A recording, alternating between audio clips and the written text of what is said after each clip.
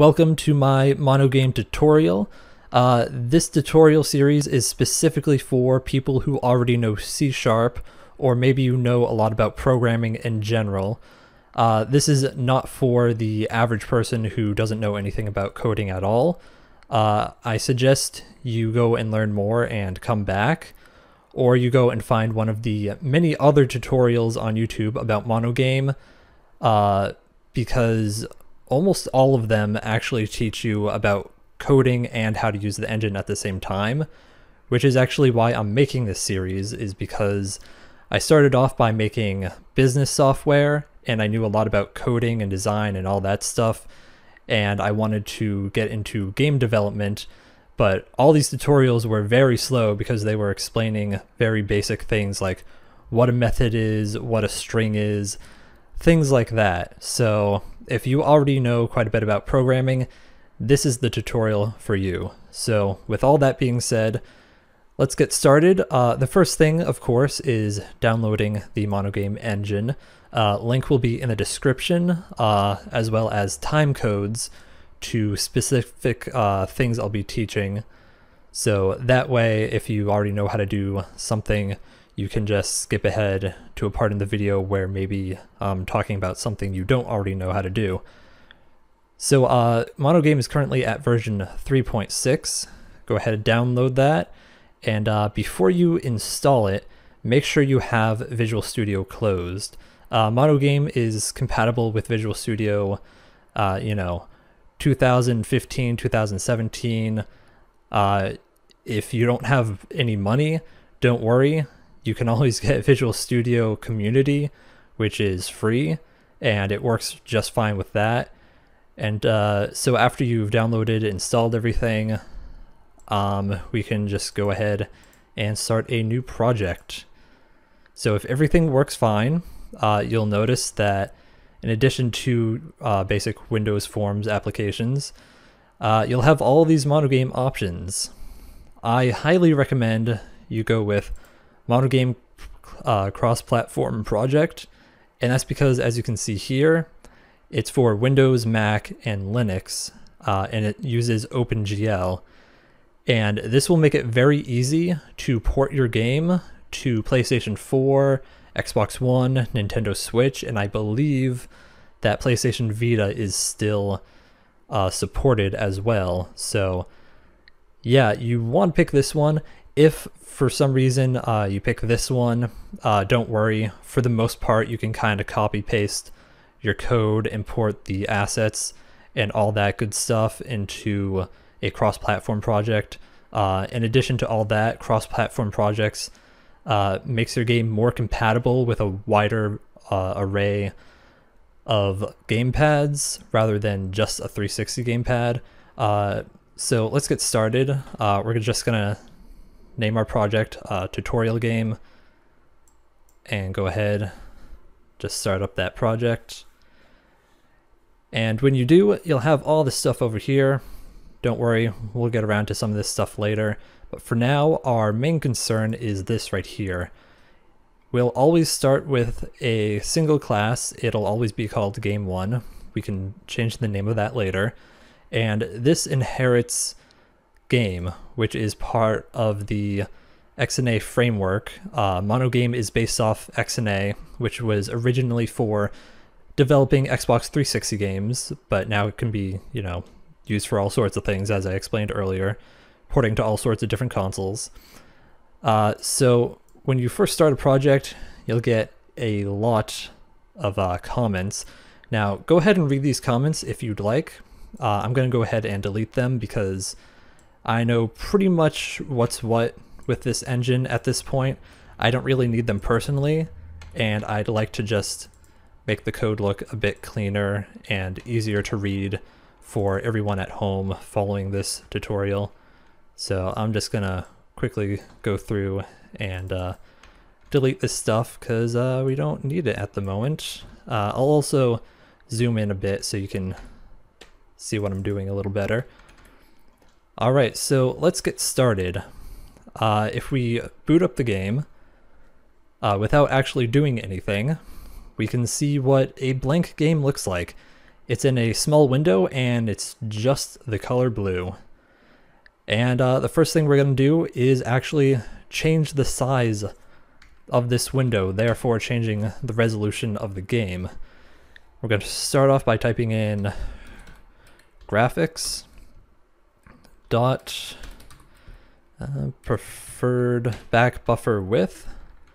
And we're going to set that to 1280 and we're going to do something very similar and set the back buffer height equal to 720 so this is standard resolution for a 720p game uh, when you want it to be in the widescreen 16 by 9 aspect ratio. That's what you want to set it to.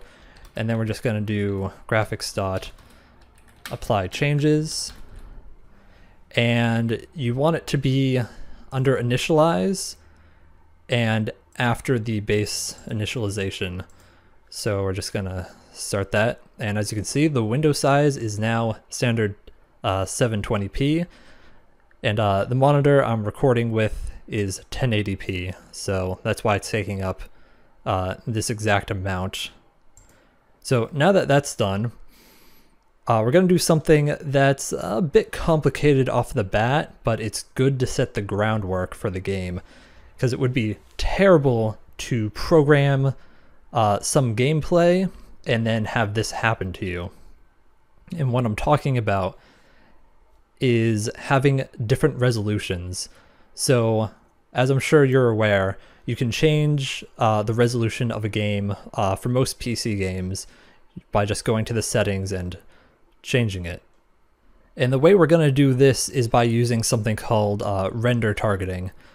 And what this will do is it will make the game run at a consistent resolution regardless of the size of the window and still let us see the entire game. So uh, we're just gonna start off real quick by doing uh, render target 2D and we're just gonna call it render target just like that. And now we're gonna have to prepare the render target under the load content. Load content, we'll get more to this later, but this is basically where you load your images, music, all the all the graphics and all that stuff. You'll load it here, but this is also where we're going to be preparing the render target. So we'll reference that that we just made equals new render target 2D and it can take a lot of different arguments. We're going to first reference the graphics device right here. Then we're going to set what we want the game to essentially always be. We always want it to be, let's say, uh, 1920 by 1080, which is the standard 16 by 9 resolution for, you know, any game.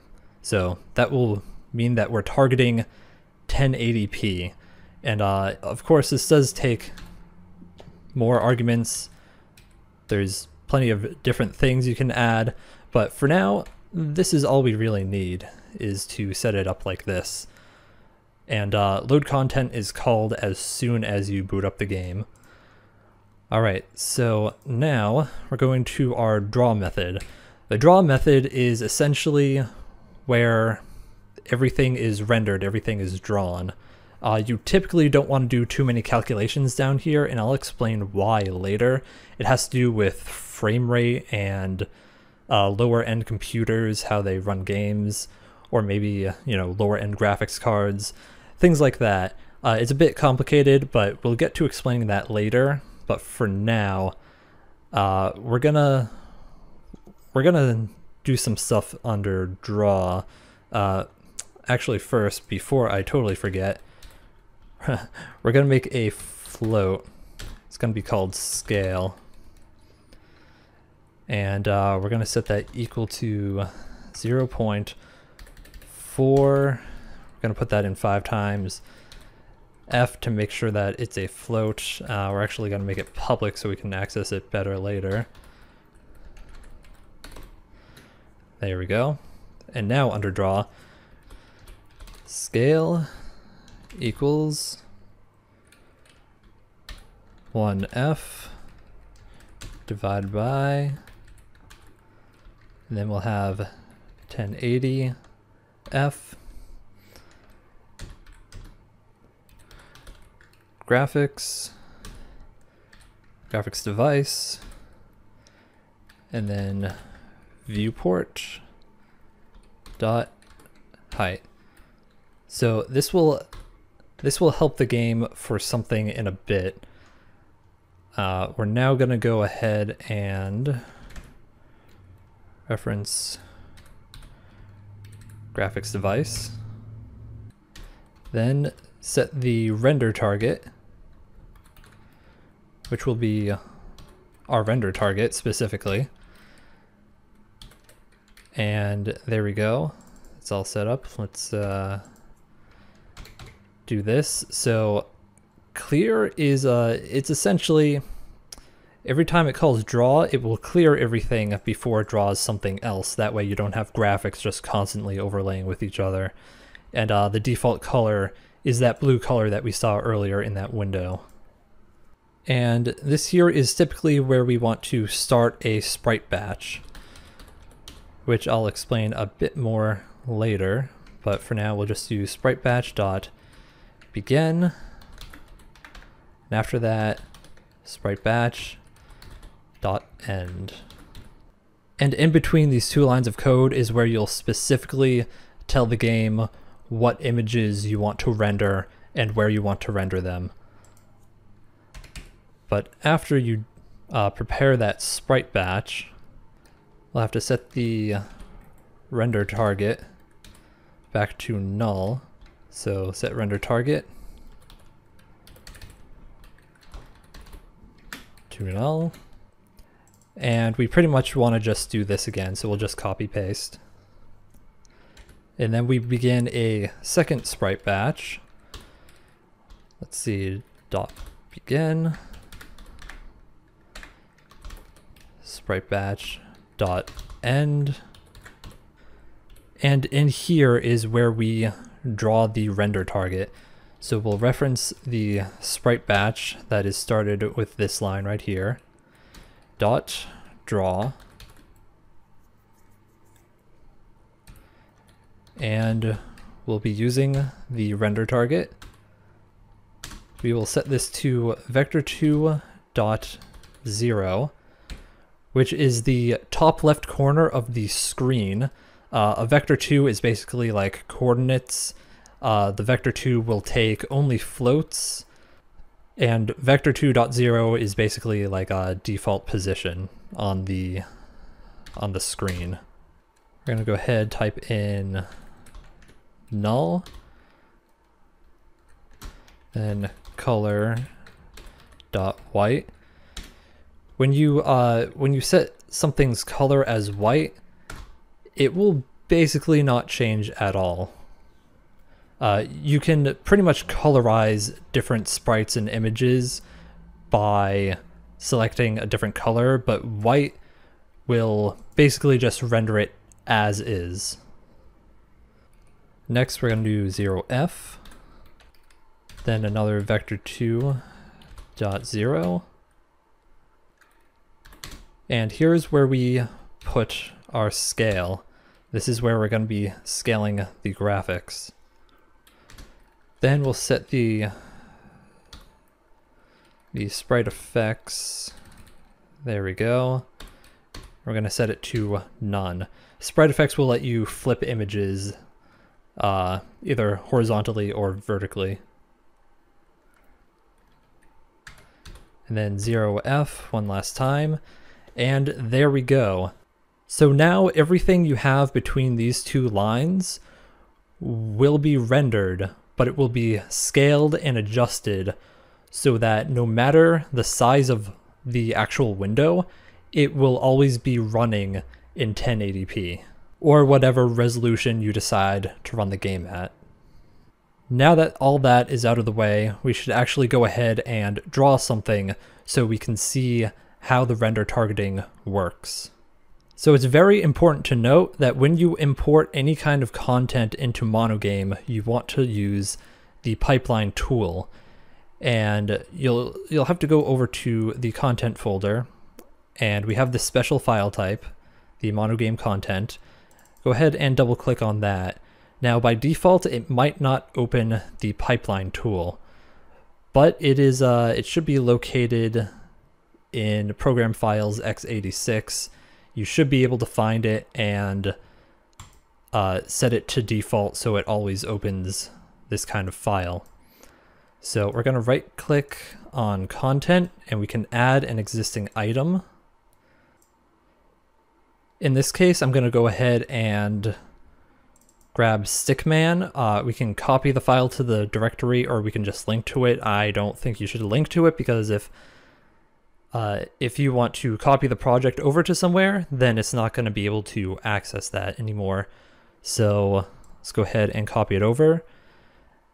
Then we should rebuild and uh, just save real quick. So now we have Stickman, which is just a simple image. And first things first, we're going to have to create a texture 2D. So texture 2D is basically any kind of 2D image. It doesn't have to be an actual texture on a 3D object. It can be any kind of 2D image. And we're just going to call it uh, Stickman, because why not? And next we have to load Stickman. We can go ahead and do that right here by referring back to it. And we can use content dot load. We specify that is it is a uh, texture 2D And then we give it the name, which in this case is just stickman, as we can see here. You don't have to put .png, that's not necessary. Uh, I, it may be case sensitive, so careful that. And if, for instance, you have a folder, let's say I make a folder, call it images, uh, you would do images slash stickman. And that's how you can organize all your assets better in the pipeline. And now that we've done that, we can go ahead down to draw and simply draw it. So it's just draw, you tell what 2D uh, image to use. In this case, it's just stickman. Then we set the coordinates. We can just do vector 2.0 for now. And then we just use color dot white and that will just draw the image as is without any kind of colorization. Now let's go ahead and run that. And we can see we have a stickman right there. Uh, you can ignore the fact that the white background is not transparent. That has to do with the image itself, not the actual engine or your coding. And you can see how he's a lot smaller than he actually is in the image file. That's because within this 720p window we have open, uh, everything inside here is actually 1080p because of the render targeting. Now, if for some reason you were to put 720F right here, it would target 720 and it would show it as is. And that's going to be it for this tutorial. Uh, thank you all for watching. Uh, I know the only thing we did is we talked about uh, resolutions and target rendering, and I showed you how to draw a very simple image, but this is very important base work for making a game. And next time I'll be explaining a lot more about the engine, how the engine works, uh, the differences between update and draw, uh, how you can separate frame rates, how you can make things move around, all that kind of stuff. So uh, subscribe for more tech tutorials, all that kind of stuff. And uh, I'll see you in the next one.